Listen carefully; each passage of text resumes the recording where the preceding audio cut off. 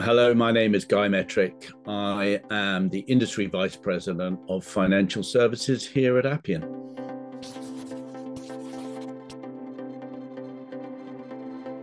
Regulatory landscape has continued to evolve really since um, the 2008 2009 financial crisis. Um, and we're continuing to see a lot of regulatory change coming globally from all of the regulators as they look to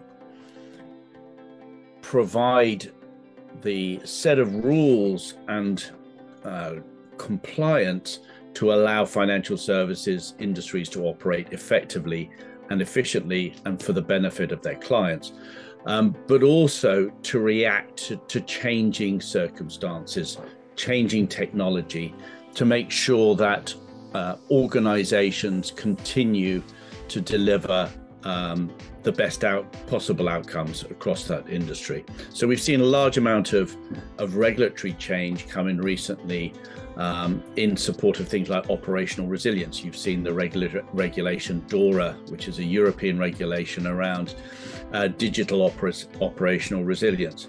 You've seen uh, regulation reacting to other technologies like um, generative AI.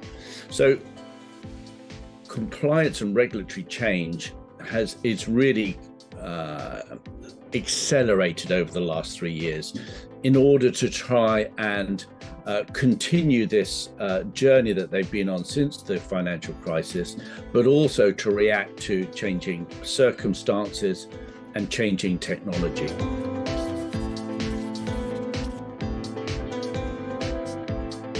The very fact that um, organizations now have such complexity um, means that it is not practical uh, just to have people um, doing manual processes in order to uh, ensure that they are compliant with the latest regulations. Process automation is absolutely essential. If you're looking to um, ensure that your risk controls and your policies and procedures are, are, are adhered to across the organization. Um, being able to evidence that is also key. So it's not only a requirement that you uh, are able to comply with those regulations, but that you are seen to comply with those regulations. So that you are able to demonstrate to external parties, regulators, your internal audit functions, that you are complying with those regulations. When you have manual processes, that becomes very difficult to do. So, process automation is absolutely key to ensuring not only that uh, you are following the correct policies and procedures, but that your embedded risk controls are effective and appropriate for the risk that's been identified in those functions, and that you are able then to evidence that uh, to the uh, uh, correct authorities to be able to show that you are compliant uh, with those regulations. So, without technology it's, and without process automation in particular, it's incredibly difficult to be able to do that effectively.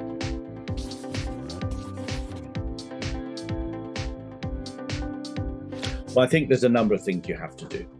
Uh, you you need to be able to manage the adoption of AI effectively across your organization. So, en- ensuring that you have oversight over the adoption of AI is important, and that oversight committee needs to be able to assess the risks and the benefits uh, that are appropriate use for AI can uh, can be deployed across your organization. So, I think that's the first element. Um, the second one is is really identifying those uh, value use cases um, whereby AI can be deployed in, in a way that delivers value to the organization. And that's not always about eliminating people or reducing headcount. What we see is very much a a situation where AI is assisting subject matter experts in how they conduct their work. So it is enabling them to be more effective and more efficient in the way that they do their work.